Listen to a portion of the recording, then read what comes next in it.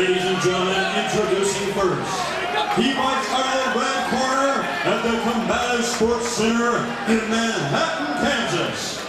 He weighs in at 155 pounds. Please welcome Jake the Librarian Lindsey.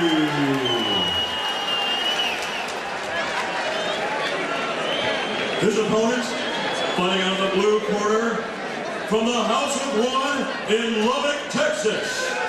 He weighs in at 100.